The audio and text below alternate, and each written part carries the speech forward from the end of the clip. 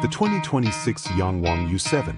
Under the hood, you've got a quad-motor setup pushing 1,287 horsepower and 1,680 newton-meters of torque, rocketing it from 0 to 100 in just 2.9 seconds.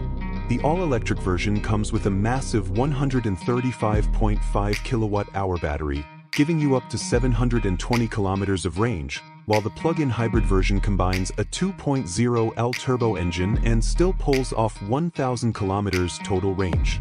Both versions support ultra-fast charging, so downtime is minimal. In the middle of it all, the design speaks elegance and aerodynamics, with a drag coefficient of just 0.195. It's long, wide, and sleek, crafted by Wolfgang Egger to cut through air and turn heads.